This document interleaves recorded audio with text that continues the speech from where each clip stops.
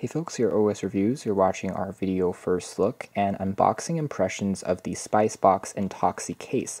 This is a hard shell case that's designed for the iPhone series. We have an older version for the iPhone 4 and 4S today in front of you, but it also is made for the iPhone 5, 6, and 7 generation models.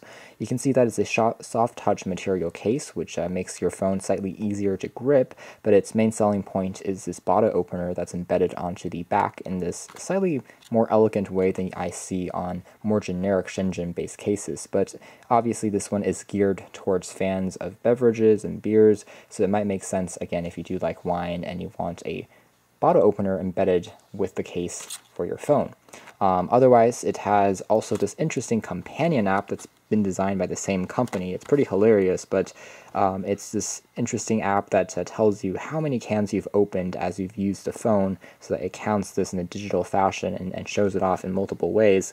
So it's a free application that you can download if you want to. It tells you, again, it's an ultimate drinking experience, a free. Intoxicase app is included with the case, automatically detects when you crack open a bottle and offers exciting features. You can invite friends and share the fact you've been enjoying a cold one after checking into your local tavern. So it's a counter that probably uses the accelerometer on the phone. So whenever it senses the gravity uh, sensor or the tilt when you open up the app, it's going to say that you've opened up a bottle and you can count it and look at you know lifetime how many bottles you've opened.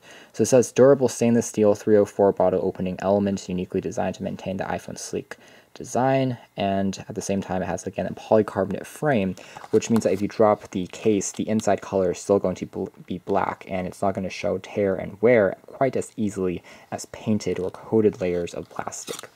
So let's open this up and see what we have on the inside.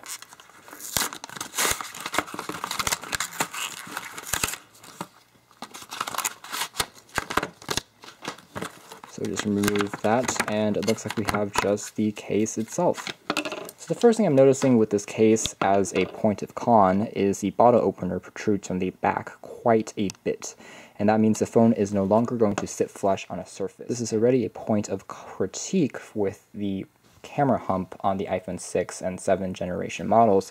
So this really just uh, continues this issue to some extent. It might wobble a bit more if you're watching videos or maybe thumb typing with your phone on a flat desk. But as far as cases go, it's actually really not bad. It's again the soft touch material and it's easier to hold for sure. Doesn't attract too many fingerprints either. And the design of the bottle opener is actually quite rugged as well. Um, has these curved edges to it, but it definitely will work in terms of opening up your beverages and uh, doesn't look quite as ugly or industrial as some of the other bottle opener cases for iPhones that I've seen on the market. There is the Intoxicase logo down below. You can see this centerpiece with the stainless steel is slightly reinforced maybe by added plastic in the back here that's been taped on. And the back of the phone just includes also a QR code that you can use to download their application. So they are really trying to push this app, but uh, it's really a novelty thing if you want it. You can see it's designed in California, assembled in Shanghai. You can slide your phone into place and then snap the phone into place as well. There isn't too much rubber on the inside, so there's not as much shock absorbency as I would like, but there's a few lips and edges so that uh, it prevents the phone's display from scratching when you set it on a surface or a desk. There are precise cutouts for the camera lens, the flash, in addition to the volume controls, power switches, headphone jacks, and speakers, and 30-pin connector or lightning pin depending on your phone. The site also features some basic logos from the sponsors and companies making it.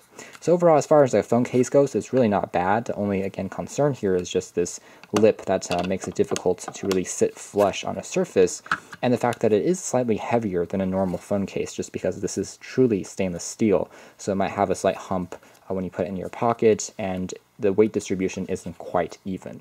But anyways, aside from these minor things, it is really a interesting case to say the least. Uh, certainly one that might cater to a niche audience, but if you like what you're seeing, definitely take a closer look.